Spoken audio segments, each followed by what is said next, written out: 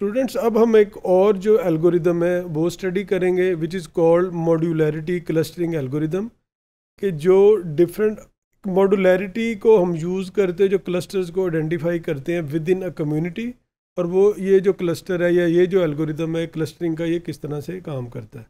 अब आप ये भी एक चीज़ नोट कीजिए कि अब क्लस्टर्स और ये चीज़ हमने अलहदा से भी डिस्कस की है कि ये क्लस्टर्स होते क्या हैं क्लस्टर्स काम किस तरह से करते हैं। अब उनको यूज़ करना है आपने उन कॉन्सेप्ट्स को और फिर कोई एल्गोरिदम और या कोई मॉडल आपने यूज़ करना है, फिर आपने उसके अंदर से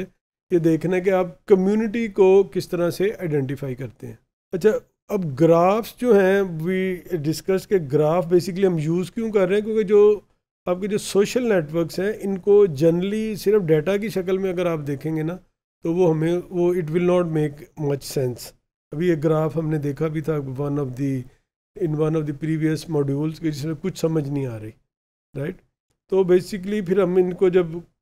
करते क्या है कि हम पूरी एक आपके पास कम्युनिटी है, उसमें से हम क्लस्टर आइडेंटिफाई करते हैं और फिर उनको अलहदा अलहदा करते हैं, फिर उसके अंदर वो रिलेशनशिप ढूंढते हैं, आप उसको लाइकलीहुड अब उसके अंदर फिर बेशुमार तरीके, आप मैक्सिमम लाइकलीहुड ये भी एक तरीका था हमारा स्टैटिस्टिकल इन्फ्रेंस का, या हम नेबरहुड प्रॉपर्टीज़ की बेस पे कर सकते हैं, हम और यू you नो डिफरेंट हमारे पास मेथड है this is one of the method one of the way of identifying जो कि कम्युनिटीज़ आपकी जो सोशल नेटवर्क के अंदर। अब ये डिफरेंट लोगों के नाम हैं जो कि अगर आप देखें हाउ दे आर कनेक्टेड एक एक हमारे पास ये एक नेटवर्क है, लोगों का एक ये है। अब दो लोग ये हैं, एक ये है ये बाहर किसी के साथ कनेक्टेड नहीं है। अब हो सकता है ये कनेक्टेड हों but we do not have that information हो सकता है कि ये बिल्कुल ही डिसकनेक्टेड हैं। They may not have any sort of relationship और कम्युनिकेशन विद दी नोड जो कि एक दूसरे के साथ कनेक्टेड हैं। तो हम कह ये रहे हैं कि हाई मॉड्यूलरिटी के साथ जो स्कोर है, वो आपका कम्युनिकेशन या कम्युनिटी के अंदर उसको, अगर हमारा स्कोर हाई है तो वो इट इज़ मोर लाइकली कि वो एक कम्युनिटी है। अगर वो स्कोर आपका कम है तो इट इज़ लेस लाइकली कि वो एक कम्युनिटी है। तो उसी की बेस पे हम इसको डिस्कस करते हैं। तो इसमें भी जैसे मैंने कहा कि वो जो आइटीरेशन है ना that is almost everywhere iteration के बगैर आपका जो है ना, वो ये जो एल्गोरिदम्स वगैरह हैं स्पेशली इसमें एनालिटिक्स में दे डजेंट रियली वर्क तो अब इसमें हमारे पास जो है डिफरेंट पार्टीशन हैं। इसकी ये जो एम है, इनका ये, उन्होंने जो मॉडुलरिटी बेसिकली इसका जो फार्मूला उसकी बेस पे इनको कैलकुलेट किया। तो इसके डिफरेंट वैल्यूज़ हमारे पास आ रही हैं। एम इज़ योर मॉडुलरिटी या उसका जो भी आप उसको के पी आई कह सकते हैं but M is basically representing your modularity की जो वैल्यू है किसी एक क्लस्टर के अंदर। अब इसमें यह कि जो नेटवर्क हैं they are suppose to be random ये नहीं हो सकता कि अपनी मर्ज़ी से हम कोई पहले डाटा सेलेक्ट करें, उसको फिर हम कहें जी के उसके ऊपर, क्योंकि वो तो आपका देखिए स्टैटिस्टिकल बायस भी आ सकता है, या इवन के वो इवन अदरवाइज़ वो जो दैट इज़ नॉट नॉर्मल वो डाटा या वो रैंडम अगर नहीं है आपका सैंपल तो फिर वो स्टैटिस्टिकल जो आप उसके ऊपर एनालिसिस करें इट हैज़ नो मीनिंग या ये कि वो बड़ा ही कम उसका अफेक्टिव होगा बिकॉज़ वो सैंपल अगर आपका रैंडम नहीं है तो इट मे नॉट ज़्यादा चांसेस उसमें ये होते हैं कि वो अपनी जो पॉपुलेशन है, उसको रिप्रेजेंट नहीं करता। वो आप इस चीज़ को इस कॉन्टेक्स्ट में देखें, जब हम कहते हैं जी कि हमने एक टेस्ट डाटा लिया, उसके ऊपर हमने अपने मॉडल को ट्रेन किया, और उसमें हम सैंपल का साइज़ भी बढ़ाते हैं, और उसकी उसकी जो डायमेंशन वगैरह कोई वेरिएबल कम करते हैं को बढ़ाते हैं to achieve over desire desired result right तो अब अगर वो हमारा डेटा अब आप उसी जो जो इशू है, ये जो प्रॉब्लम है, उसको इस कॉन्टेक्स्ट में देखें तो यहाँ पे भी आपका data has to be random data random होगा तो आपके जो रिज़ल्ट हैं वो ज़्यादा अच्छे आएँगे अदरवाइज़ आपके result they will not be good और they will not be true representative of your जो भी आप उसके ऊपर कोई एनालिसिस करना चाह रहे हैं it will not be a true representative और आपको इसको ये देखें सपोज़ अगर ये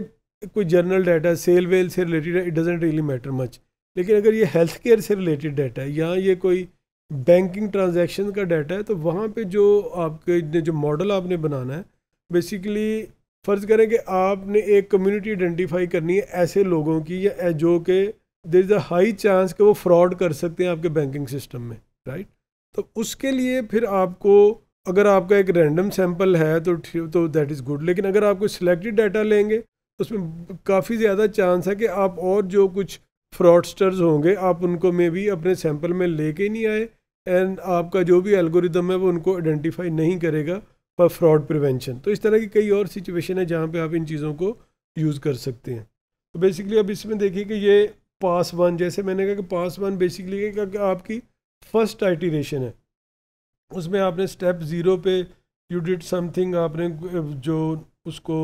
प्रोसेस को किया तो you got some information right तो आप देखिए ये जो ब्लैक एंड वाइट एक तरह के आपके वो डॉट्स है no you got some colours in it right फिर उसके बाद आपने इनको फर्दर देखा कि ये जो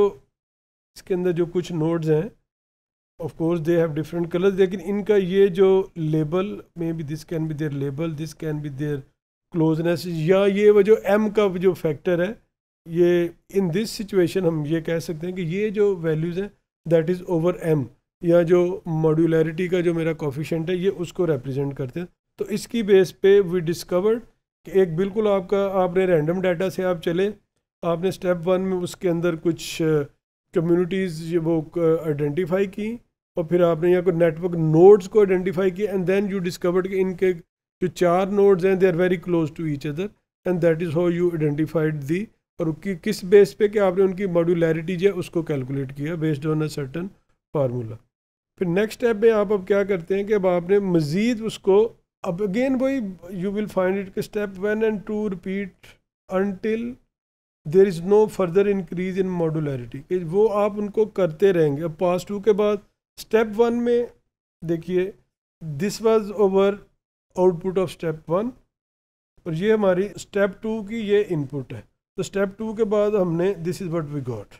right तो इस तरह से बेसिकली आप अपना जो है वो उसको, ये वाला जो एल्गोरिदम है मॉडुलरिटी का, उसको भी यूज़ कर सकते हैं। अपने जो है आपकी जो भी सिचुएशन है, उसमें आप इनको depending upon the again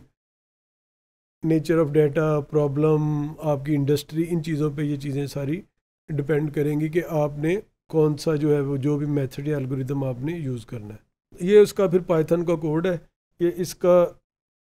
ये देखिए पाइथन मॉड्यूलरिटी जो उसकी मैक्सिमाइजेशन है। अब वो सिंपल है, ये जो चीज़ें, क्योंकि आप ये समझिए कि ये तकरीबन हर दफ़ा आपने ये करना ही है ना, कि आपने नम पाई नेटवर्क साई पाई जो भी लाइब्रेरीज़ वगैरह हैं, जो जो भी आपकी इन्वायरमेंट है और आफ्टर जितनी हम ये अब तक प्रैक्टिस कर चुके हैं आई एम श्योर कि आप साथ साथ जहाँ जहाँ पे भी मैंने कोड वगैरह आपके साथ शेयर किया है तो अब आपकी इन्वायरमेंट में most of these things might be already there maybe एक चीज़ शायद ये पहले नहीं हमने डिस्कस की थी नेटवर्क्स की। ये एक और लाइब्रेरी है पाइथन की, लेकिन ये NumPy SciPy matplotlib और बेशुमार हैं जिनको हम पांडास ऑलरेडी कई जो हमारी एक्सरसाइज है, उनमें हम उनको यूज़ कर चुके हैं।